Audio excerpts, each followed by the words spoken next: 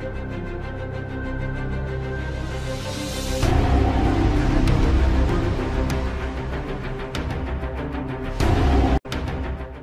guys, Randy here, and tonight's video is coming to you courtesy of Banggood.com. In the spirit of Halloween, they have sent me a inflatable horse costume. so check him out, he's pretty cool. I think it's funny. Look, if you can see it or not, but if you can see it back here, he's got an orange butthole. anyway, you can see it's pretty cool costume, or at least at least a goofy looking costume. Look at the expression on his face. Anyway, tonight I'm coming coming out with coming at you with both a product review and a joke and a brain a brain teaser. So here comes the joke. Horse walks into a bar. Bartender says, "Hey, dude, what's with the long face?" Yeah, I know. Bad one. Bad joke. But you'll be telling your friends tomorrow. and the second part is the brain teaser. And I don't know if y'all can see a good look at this thing. I was going to give you, give you a little bit of a tour of this inflatable horse first before I do the brain teaser. You can see he's got little front hooves here. He's got a little orange battery pack here. I can scoot in a little bit closer so you can see it.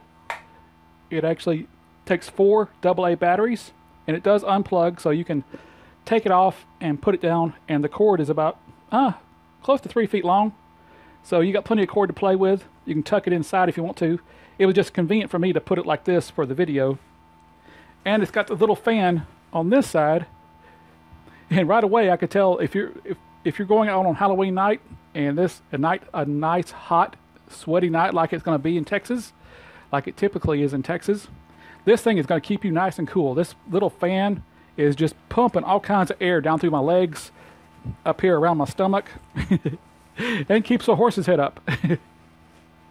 so, if you're interested in this little costume, check it out on banggood.com. The link will be down below. If you're on YouTube, it'll be up above. If you're watching this on Facebook.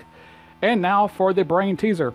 When they sent me this costume, it got me thinking about horses and how prevalent horses are in Texas and basically the cowboy lifestyle.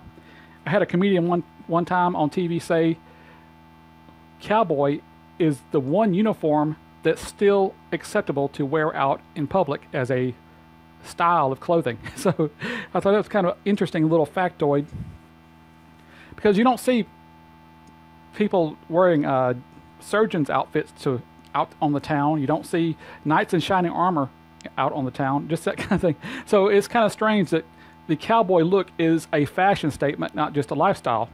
So here comes the brain teaser. How do you tell the real cowboy when you're looking at a pickup truck and you see three cowboys in the truck? And I'll give you a second to come up with the answer. If you're looking at the front of a pickup truck, you see three cowboys sitting side by side in the pickup truck. How do you determine who's the true cowboy? And a real cowboy, an honest to God cowboy, told me the answer. Here it is the guy in the center the cowboy in the center is always the true cowboy for two reasons. Number one, he doesn't have to drive. And number two, he doesn't have to get out of the car or truck, go to the gate, open the gate, close the gate after the truck goes through, and get back in the truck. So that's how you tell a true cowboy. He's the one always sitting in the middle. So now you have a little quiz that you can ask any of your friends who think they're true cowboys, and you can determine whether they are what's called in Texas all hat and no cattle, and all hat and no cattle means he just has a hat and he has no uh, cattle to back up his story. so it was that's a term that came from the cowboy days where people would go and BS and try to sell stuff they didn't have or they would try to pass themselves off as a big cattle baron and they didn't have anything to back up their words. So that's why they say all hat and no, and no cattle. so anyway, if y'all like this little costume, I think it's kind of fun and funny looking. I like the way he's got his little eyebrows raised up on one side right there.